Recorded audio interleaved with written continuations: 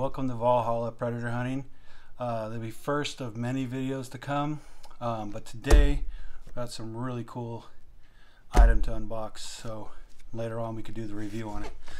But today we're going to be unboxing the Lucky Duck Revolt Predator Call and uh, seeing what they have to offer inside the box. So without further ado, let's open this up. I've actually had uh, Fox Pro calls. I had the Fox Pro Inferno and the Fox Pro Hammerjack. Um, but I'm a firm believer in having more than one call in the event that one, you know, stops working when you're out on a call or when you're, you know, an hour from home or an hour from being able to get to a new call. So I'm a firm believer in having two.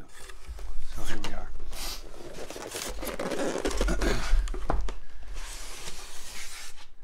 This is my first lucky duck call, so I'm kind of excited to see um, all about it.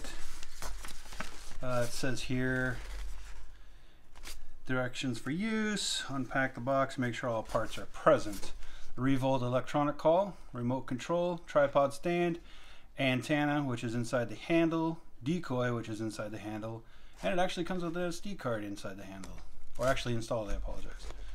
So inside the handle, it actually, there's room to store the decoy on it. That's actually pretty cool. Um, battery installation directions. And here it is. The call itself. It's a biggin. It's a biggin. Nice remote for it.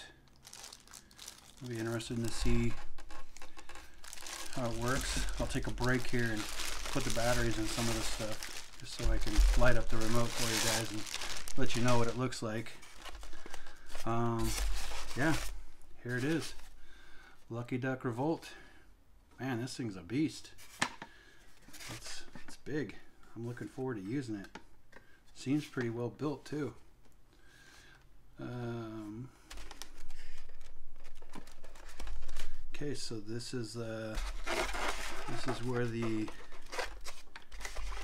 antenna and the decoy is.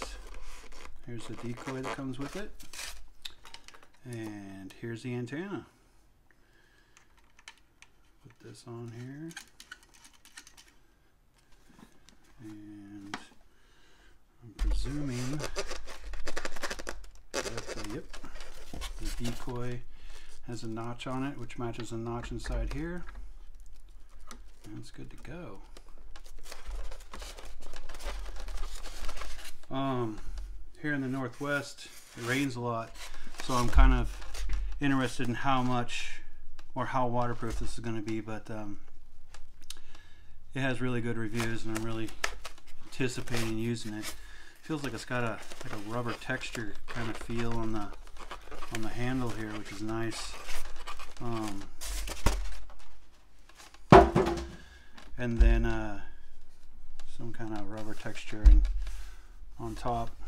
Uh, it has an actual on-off switch, four different channels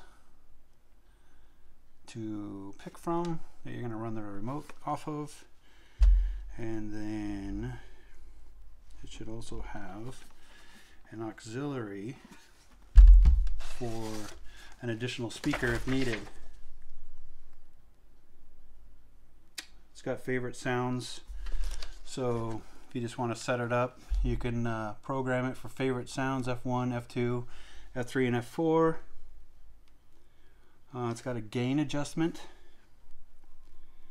channel selector like I discussed, power indicator light, volume, pause and play. If you're just going to sit there with the uh, with the call right next to you instead of using the remote. Um, comes with the tripod base.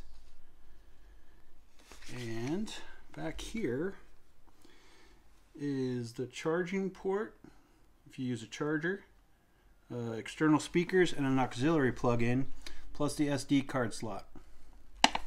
Right underneath this nice rubber flap.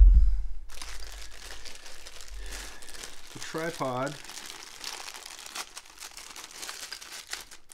Two-piece metal tripod. It's actually really well constructed. I mean, I'm not surprised with um, the, the reputation of Lucky Duck. I'm just never owned one before. So there it is. The Lucky Duck Revolt.